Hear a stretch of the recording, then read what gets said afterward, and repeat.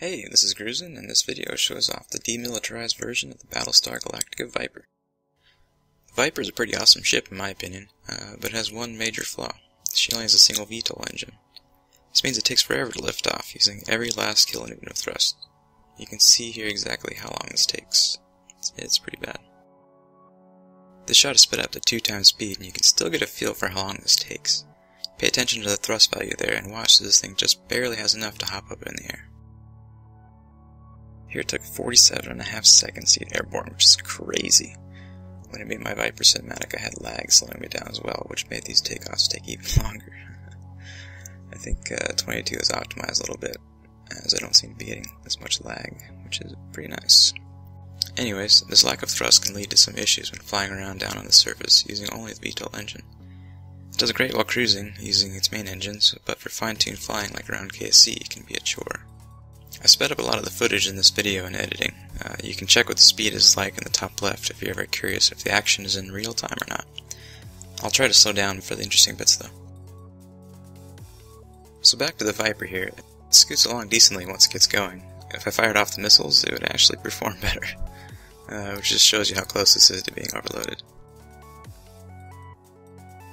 Here you can see the Viper trying to climb so it can land up on the helipad, usually I'd fire up the main engines for a second just to boost me up there, um, but I decided to stick it out with the Lonely VTOL just to illustrate how slow this is. Even watching this at two times speed still makes me want to fall asleep. I remember being alt-tabbed while this was climbing.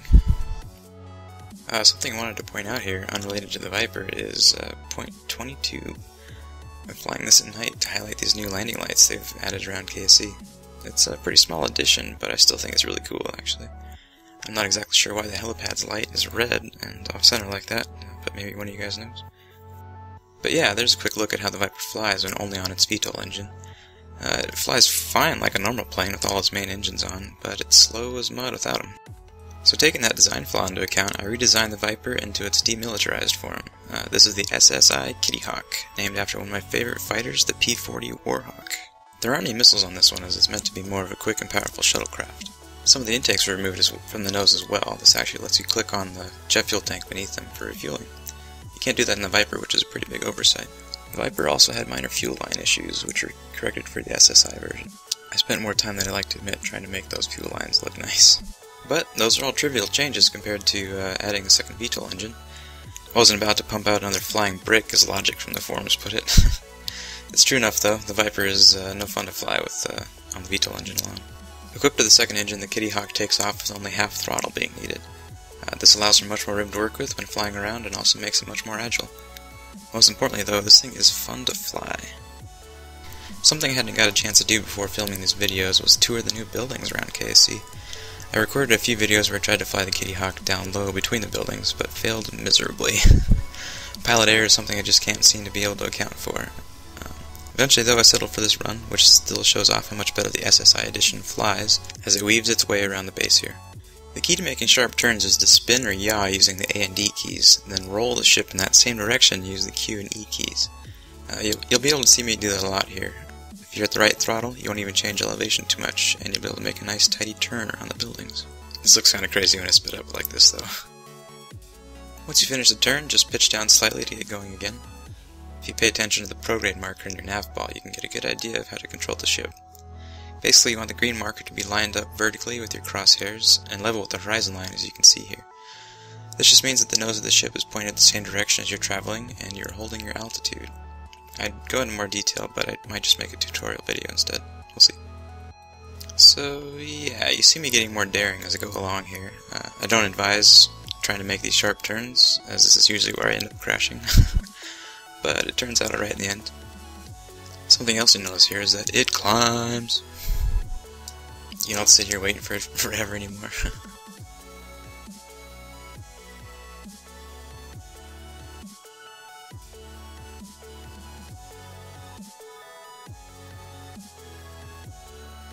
and boom goes dynamite. Well, there you have it, the conversion from the BSG Viper to the SSI Kittyhawk. Uh, the SSI version turned out pretty well, and is one of my better VTOL SSTOs actually. Now I just need to certify it, and that's sort of what we're going to do next year, but not really. I'll take it on a round trip to show you how well it can climb, and then we'll take a peek at the new facilities at the secondary, or the old KSC landing strip. Now you might notice that big jet engine sitting on the top there.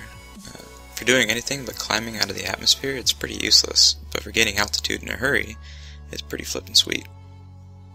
I might be using more of these in my future designs as the extra thrust is awesome and we can turn it off later for cruising.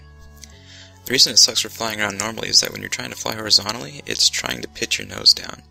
Its thrust is off-center from the ship's center of mass, but there's a, more than a couple SAS modules on here which keep things in check. Uh, if you just want to cruise around or level off, I recommend using the two turbojets by themselves though, as they get the job done pretty well. I usually leave this engine on up until about 20 kilometers, as it still is pumping out about 40 to 50 kilonewtons of thrust up there. But I think I turned it off early to save fuel, as I'm planning to go for quite a ways here without refueling. The Kittyhawk definitely falls into the air hogger category.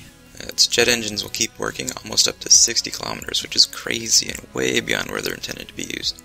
Uh, but I don't have a problem with it. um, I do know that more than a few people don't like hogging, uh, but that might be a discussion for another video.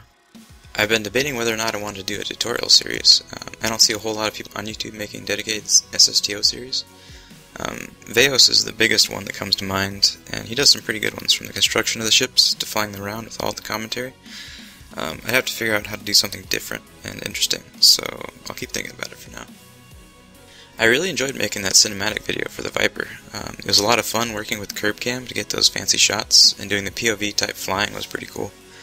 If I was going to do a series, it would likely be something similar in design to that video, but uh, much more polished in editing and with a good backstory. And now that 22 is out, I can safely design more ships, so we'll see what I can come up with.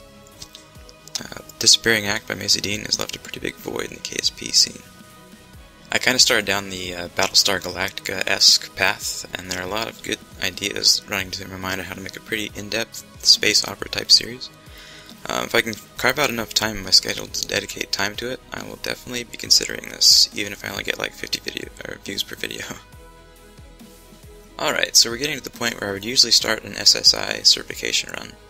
Uh, for certification, you have to undock from a station at 120 kilometers up, land down at KSC, take off, and return to the station at 120 kilometer orbit, all without refueling. Here, I'm going to be doing the same thing, except without a station, because I don't want to deal with all that part lag. Um, all the essentials are there, minus docking and rendezvous, which uh, fuel-wise is the same as long as I circularize at uh, 120 kilometers. Since I just finished climbing up to 120 kilometers, I'm actually gimping myself quite a bit, but there's plenty of fuel left in the tanks here to complete the certification, plus a little extra.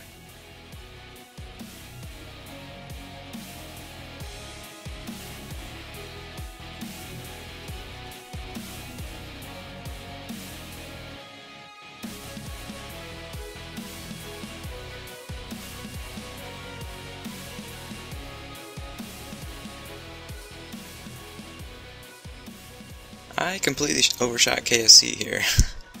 I'll play it off like I meant to do this, though. Uh, pay no attention to my attempts to stop myself. The lack of control is merely an illusion. I was actually pretty surprised that I didn't start doing endos here, and I was able to slow down. Luckily for me, Squad put another landing strip just past KSC.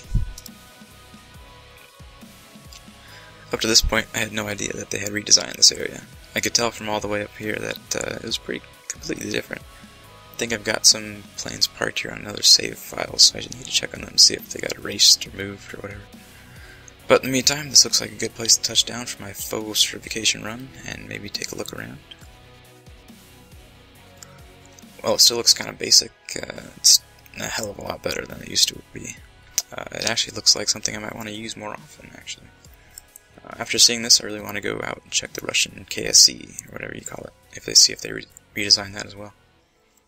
I was glad to see they still have the old KSP parts lying around in the hangar, although they look out of place with how modern or not run down these hangars look.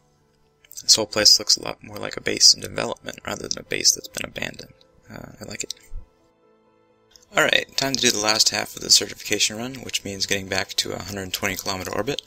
We should have enough fuel left, but we'll have to see. The ship is lighter than the first climb, so I shouldn't need as much fuel to get up the second time around. I'm talking like I don't know what's going to happen. you can probably guess the outcome.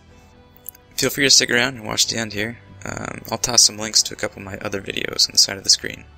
Check them out if you want, you might enjoy them. I'll uh, crank up the music to play you out, have fun with the rest of the video, and if you have any suggestions, leave a comment down below. Let's talk about Sears ideas and videos you'd like to see in the future. Have a good one.